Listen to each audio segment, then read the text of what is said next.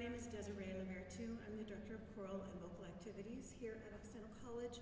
It's my great privilege to be the Director of Occidental College Glee Club in this era, and it's a great privilege of mine to be able to honor a person who was such an inspired leader and teacher to so many different students, uh, both musically and personally.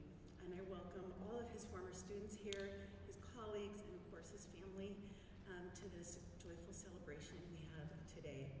Um, today's time together, it's not exactly a concert and not exactly a church service, so it's something in between, so you're not obliged to applaud, but you certainly may applaud heartily if the Spirit moves you. Um, but we are just hoping to offer each thing as a separate uh, tribute to Dr. Somerville and leave a little space between each thing, and you'll see some of the things we're doing today are very meditative and some are very enthusiastic and everything in between. So um, I don't want to dissuade anyone from heartily applauding, nor do you have to, is what I want to say, because it's always a bit awkward at something like this, right? The combined choral selections today were chosen by Dr. Somerville's alumni via a Google form, um, and there were many, many opinions, and I gleaned the most popular, the top choices, so you're hearing the, the top five of the top ten today. Um, pleased to present those to you. Um, but now it's my pleasure to start on a different and that is with our wonderful Herrick organ, which was restored in 2018 in celebration of its 50th anniversary, um, restored by Manuel Rosales, uh, who works on the Disney Hall organ, and played today by the incomparable James Walker, who I'm so thrilled can be here, and of course was college organist amongst many other things, brilliant musician, friend, uh, privileged to call him a friend and colleague, and he's going to start the day ever so appropriately with some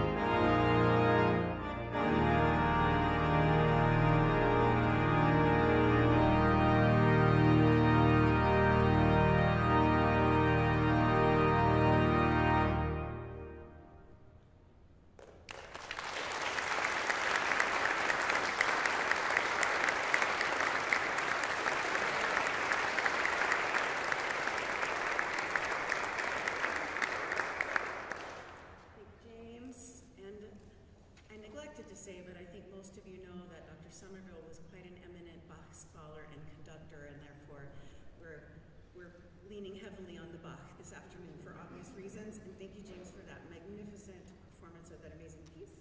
You all please.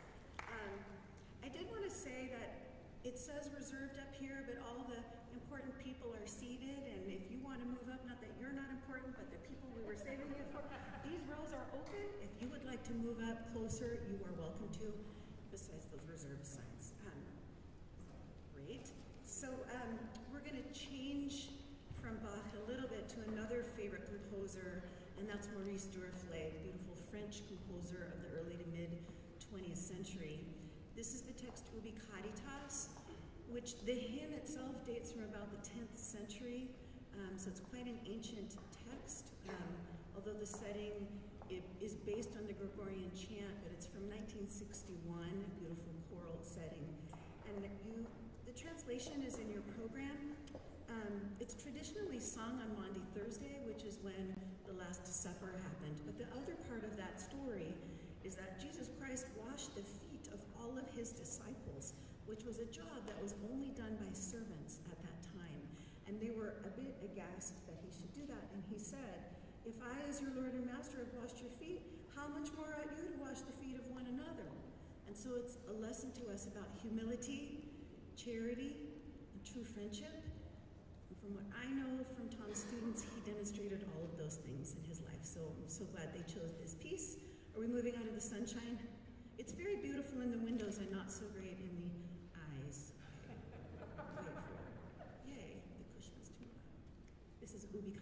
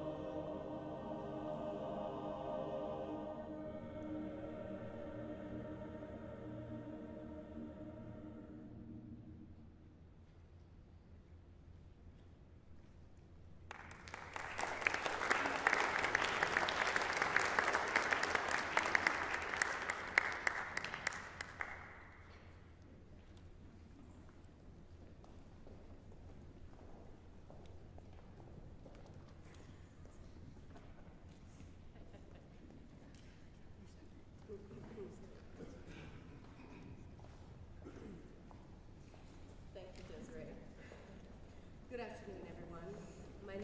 Ballinger, and I am honored to have been given the chance to speak today about our beloved Tom. It is, however, ironic that I cannot actually speak or sing today. Thank you, Tracy, for stepping in.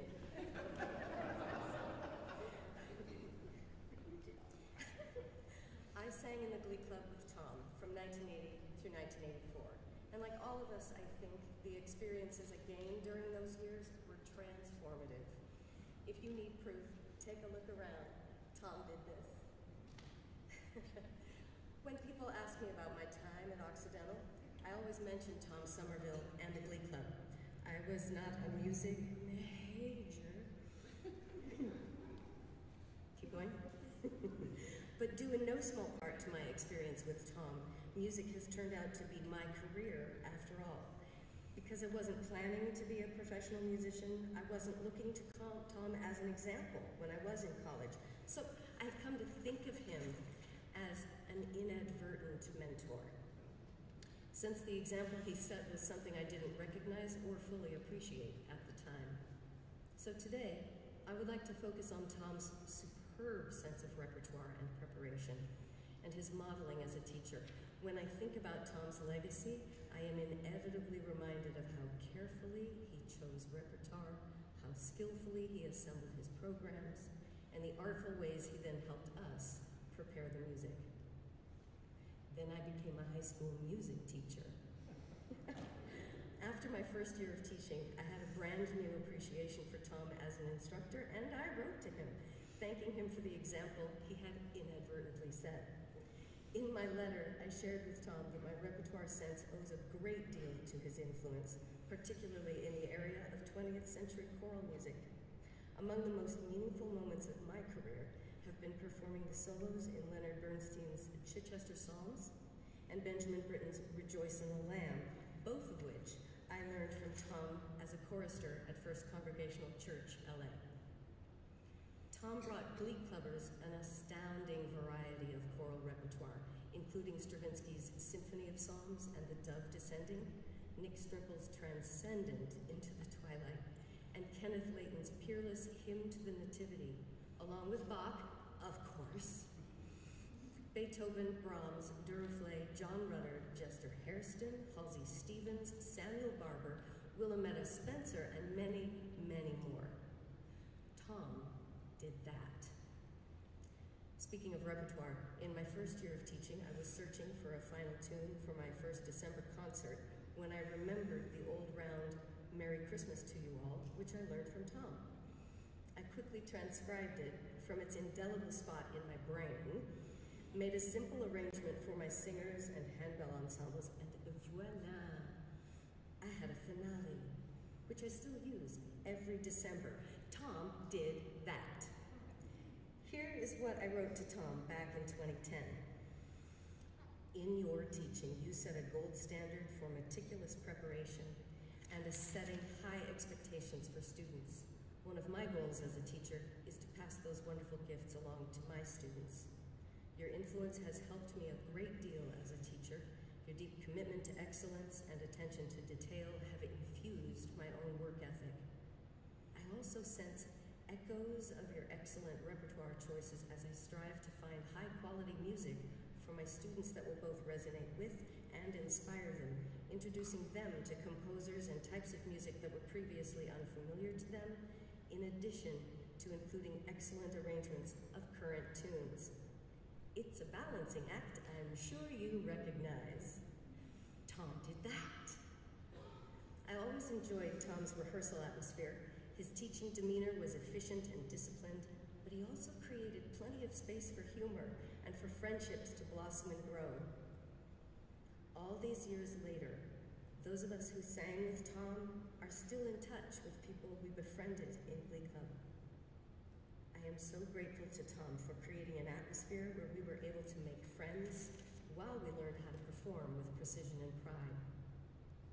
Two dozen college students singing Bach motets from memory right here in this very room, so well prepared that we almost left our bodies for a moment and became a living, breathing instrument of music. Tom did that. Dozens of us back here on this campus renewing friendships and making music together again want to say it with me this time? Tom did that. In closing, it was Tom's commitment to excellence and insistence on discipline and hard work that made the most lasting impressions on me and remain among the greatest gifts of my life. Thank you, Tom, from the bottom of my heart, for everything you did for this little red-headed girl so many years ago. Your work truly helped shape the direction of my life, and I will always be grateful.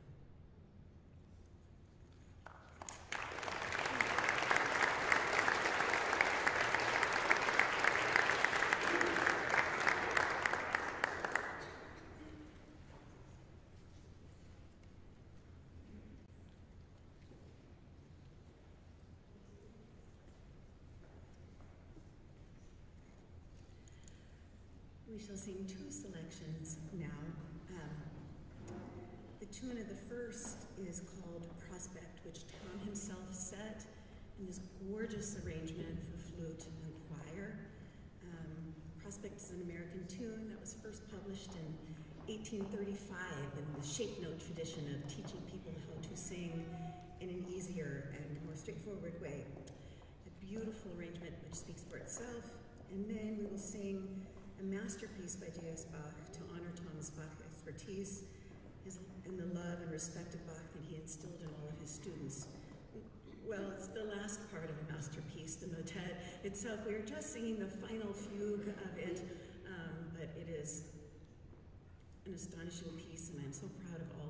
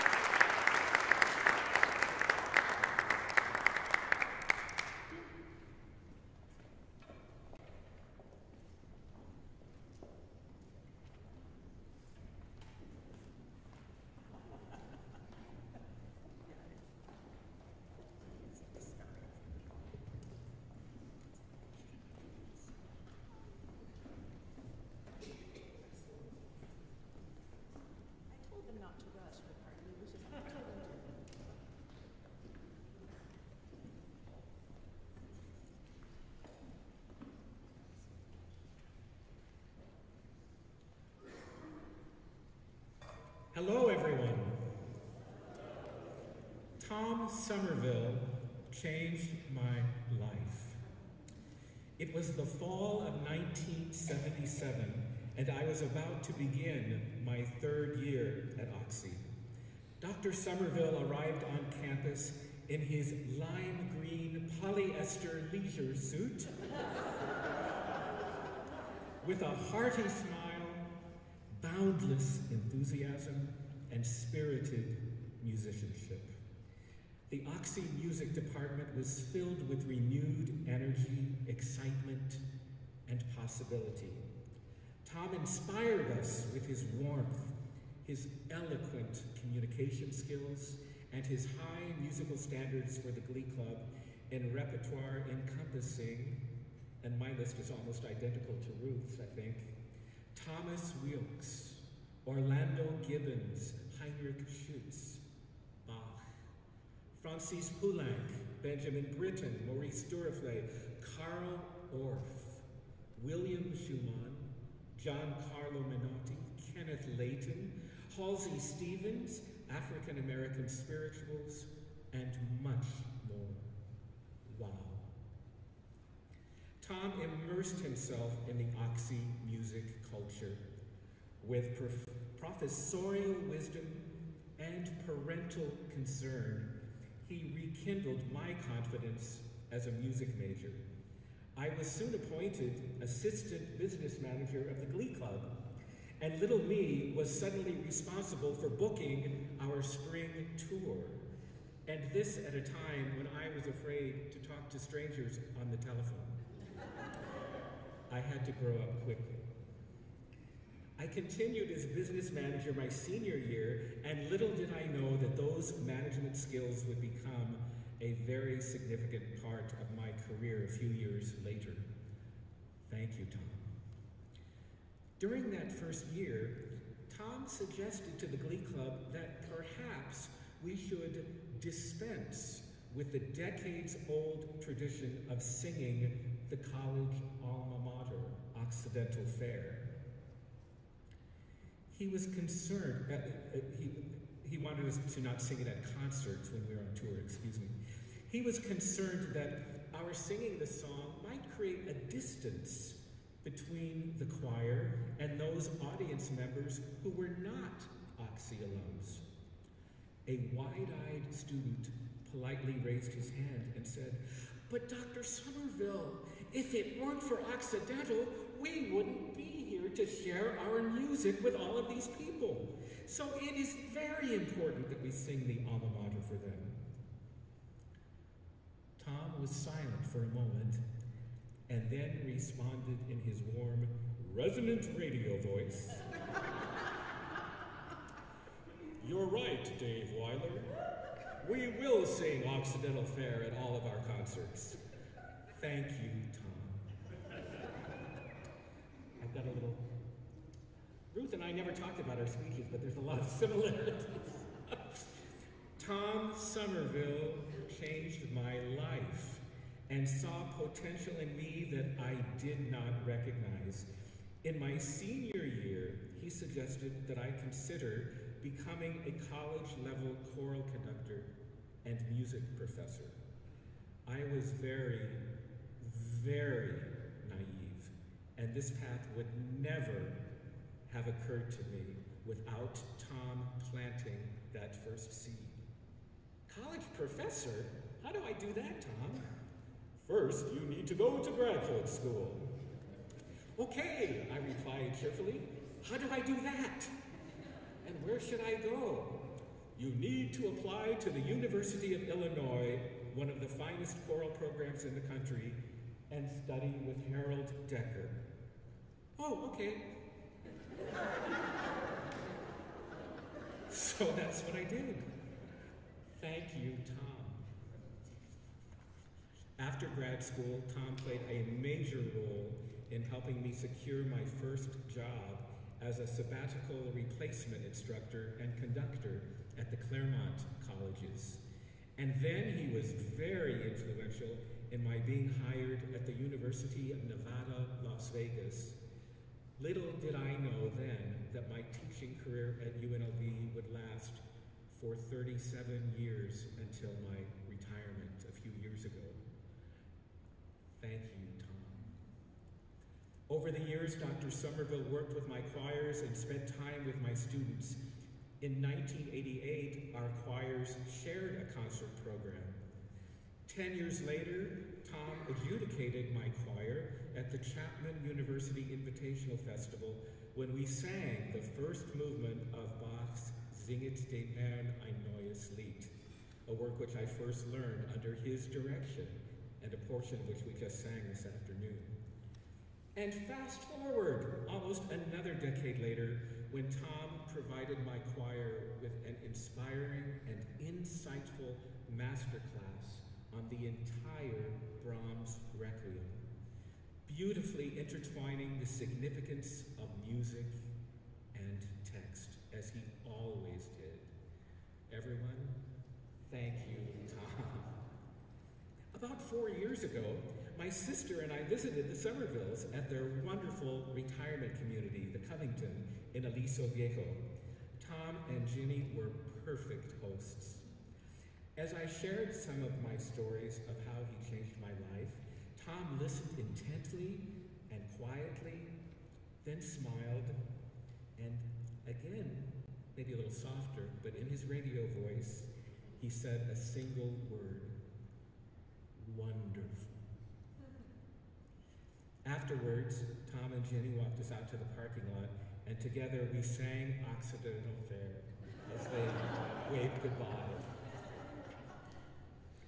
It hardly seems possible that Dr. Somerville taught at Oxy for 23 years, and it has now been another 23 years since his retirement.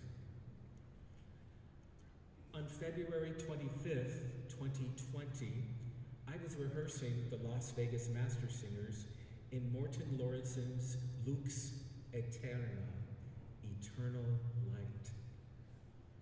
While conducting, I found myself thinking of Tom and feeling so grateful for his influence. The choir was soaring with the music, especially as we sang Dona eis requiem sempiternam, give them eternal rest, followed by the heavenly Alleluia and a peaceful Amen. Upon arriving home late that night, I found Jenny's email message with the news that Tom had passed that afternoon. I wrote to her the next morning, May Tom be at peace and rest now. His music making, inspiration, and mentorship will always be a blessing. Tom Somerville changed my life. And I truly believe that he has made a difference in the lives of everyone here today, even if you never met him personally. The Occidental choral tradition lives on through Tom's spirit, all alumni, and in these talented students and their wonderful conductor. In closing, a heartfelt thank you to Professor Desiree Lavertu and the Glee Club and all those who have played a part in creating this meaningful concert and service. Quoting the last line of Go Lovely Rose, which we sang in Glee Club, how small a part of time they share that are so wondrous, sweet, and fair. Thank you.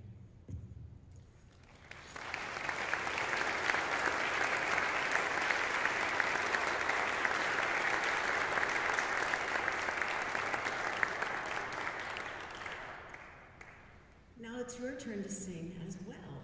We are going to sing together. It's the insert in your program. This was requested by Jenny Somerville, the beautiful text set to Beethoven's amazing melody. So how about we all stand, yes? And we get to sing with the amazing James Walker.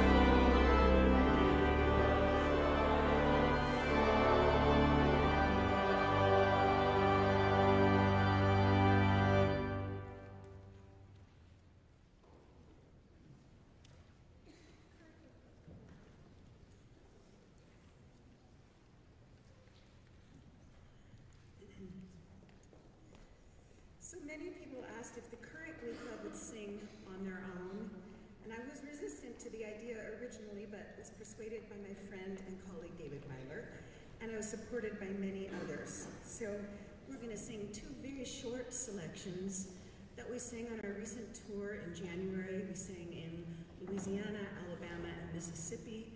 We were there during the MLK Day holiday.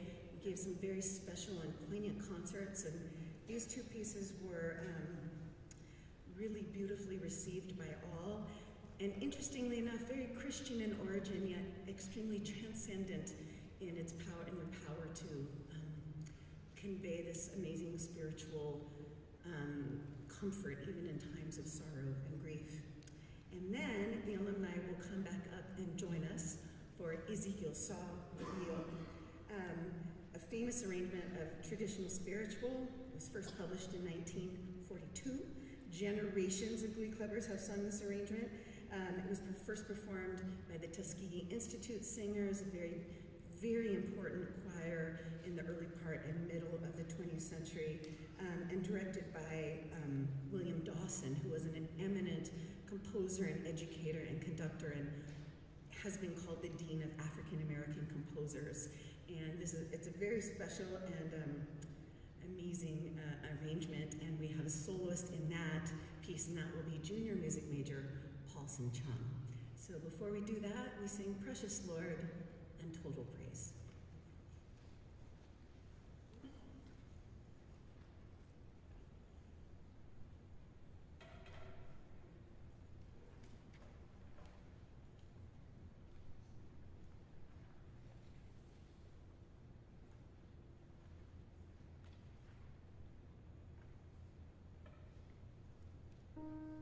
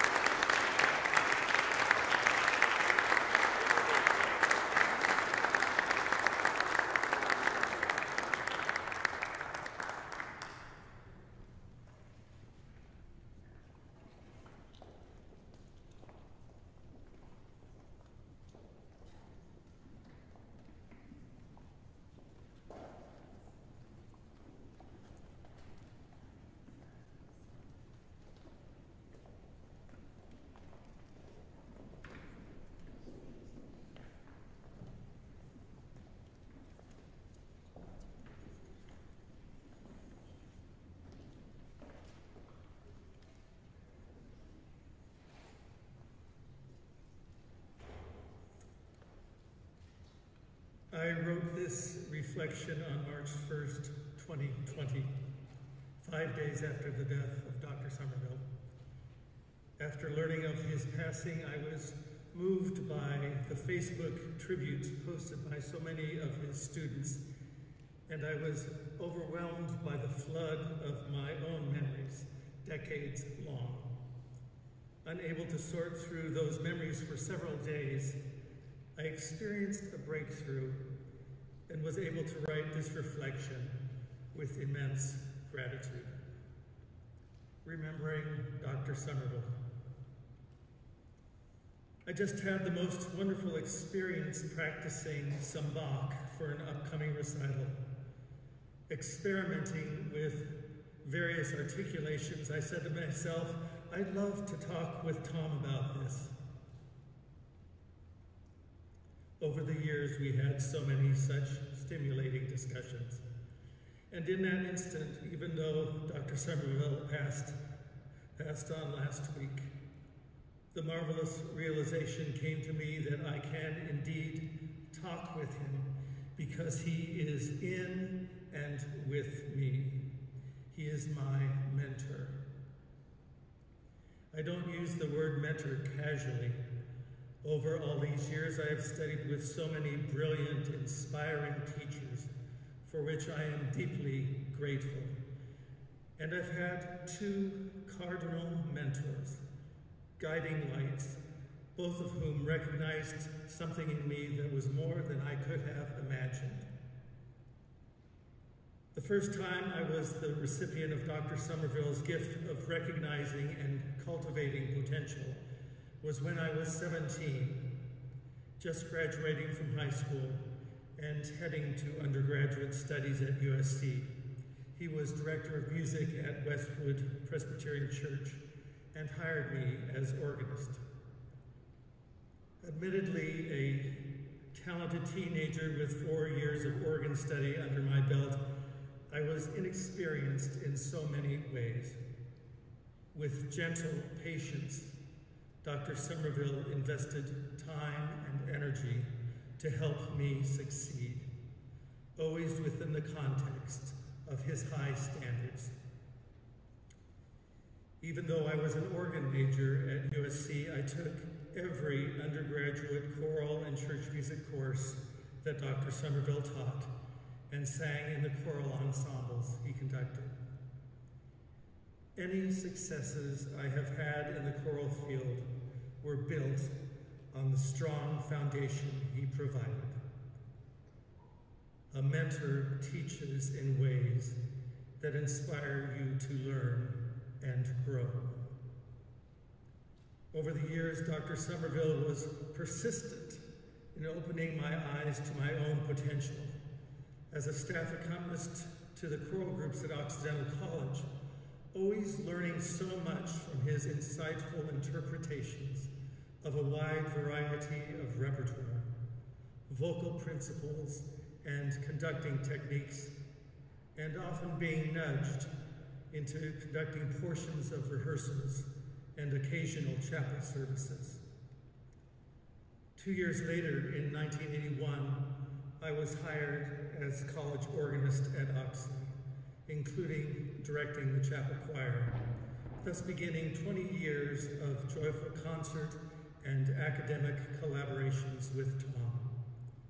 Having never run a choral program myself, he was always available to advise, observe, coach, and encourage, not only in matters choral and administrative, but also in traversing the murky waters of institutional politics. He always had my back.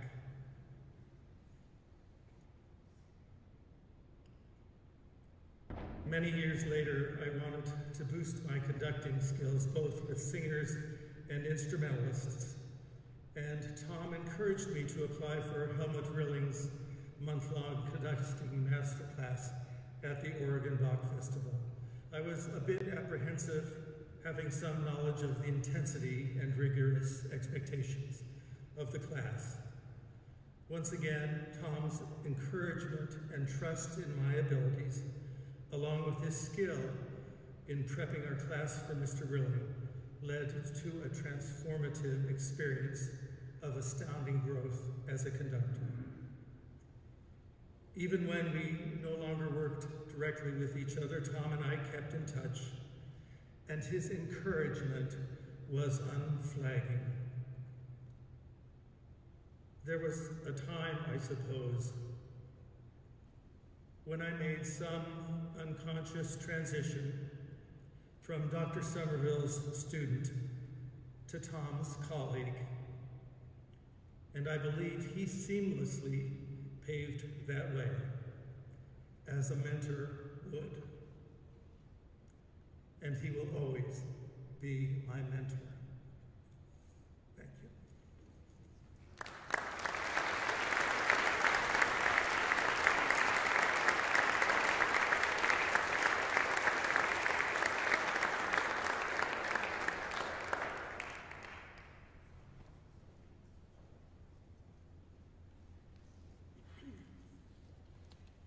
Um, because I like to always end things on music and not talking, I thought I would just make a few closing remarks, and then we'll sing the beautiful Gaelic blessing, and then finish with an, another marvelous organ piece from James. And an event like this, people have been very um, kind and generous towards me, but it really happens with a team of people. And I really want to thank the people who made this celebration possible today. First and foremost, Landea Jose, alumni, choir member, and also trustee, because she, she kindled this fire. She lit the fire, and it was last summer, and we just started, hmm, hmm, and then it's blossomed into this amazing day today. So thank you for that. Dana Branzi in the Alumni and Parent Engagement Office, to Ruth, David, and James, not only for their heartfelt uh, sharings today, but for being three of the most scrupulous pairs of eyes I could possibly have wanted on this concert program to make it a beautiful uh, legacy. Um, a fleet of student helpers, Hayden, our Glee Club manager, for helping with the setup, Charlotte for being a librarian extraordinaire, Audra for actually typing up the program and making it possible, um, all of our student workers today, and then I really wanted to give a special thank you to Sarah Sturdivant, who is a junior music composition major.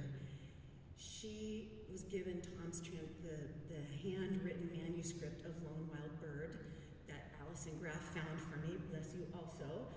And she took it and put it into Sibelius so that it's this beautiful engraved um, version now. And we have a copy for you to have, of course. So thank you to Sarah for all that hard work. Um, and of course, Alexander Zhu, without whom I could not do any of these events.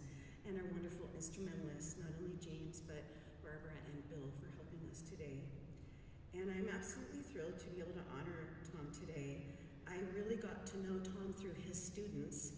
I met a lot of them through what Ruth, well, through a choir Ruth had here called the Guinea Pig Chorale when she was deciding whether or not she really wanted to be a choir director. And I was one of the few non-Oxy people that had been invited, and I was very smitten with all of them.